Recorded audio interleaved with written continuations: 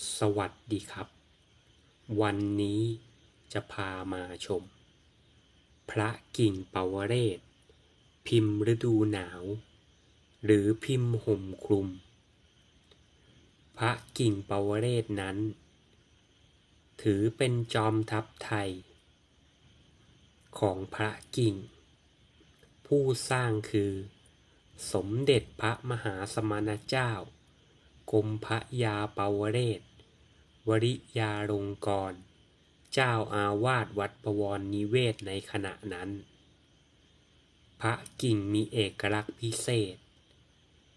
มียันและใต้ยันมีคำว่าปาวเรศ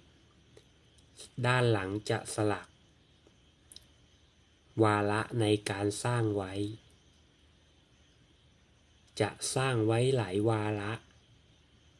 ส่วนมากจะเชิญเกจิอาจารย์ดังในสมัยนั้น 108 รูป เข้าร่วมปลุกเสก รวมถึง สมเด็จพุทธจารย์โตพมลังสี ร่วมพิธีปลุกเสกด้วย พระกิ่งเปาวเรศนั้น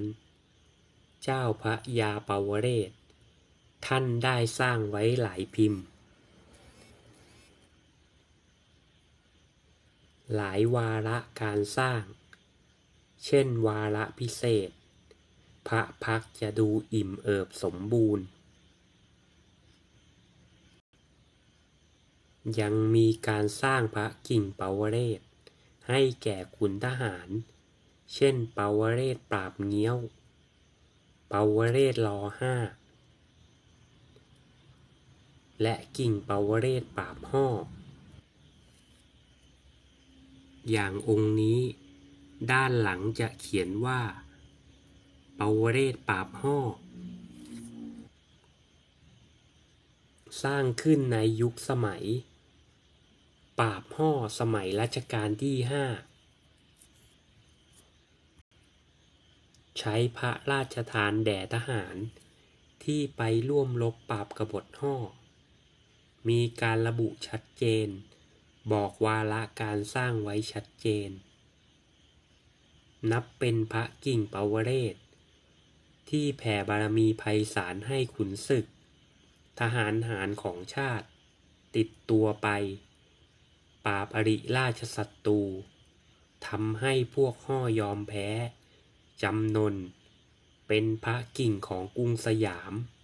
ที่งดงามองค์หนึ่ง ที่มีการสร้างไว้อย่างสวยงาม พลังพุทธคุณเข้มขังดุดัน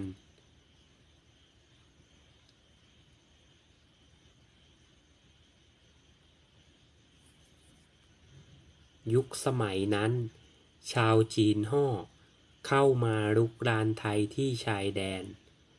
จังหวัดหนองคาย ช่วงพศ 2400 กว่า กองทัพห่ออยู่ฝั่งน้ำโขง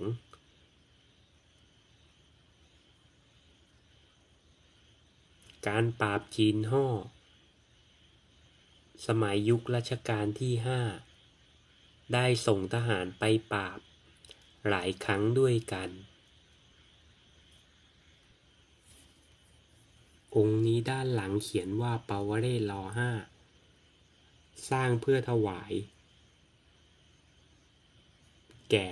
รัชกาลที่ห้า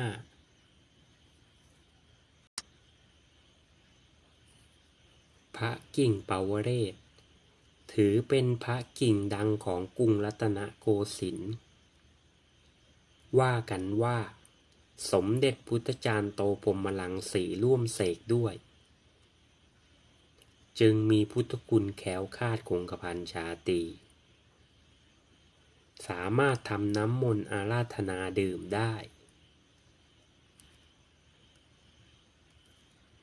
ประกอบพิธี ทั้งพิธีพุทธ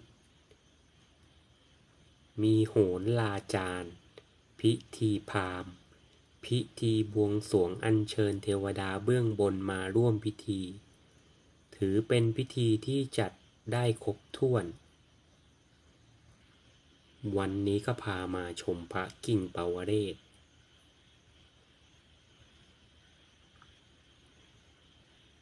ปางฤดูหนาว หรือปวเรศหุ่มคุม เพียงเท่านี้นะครับ สวัสดีครับ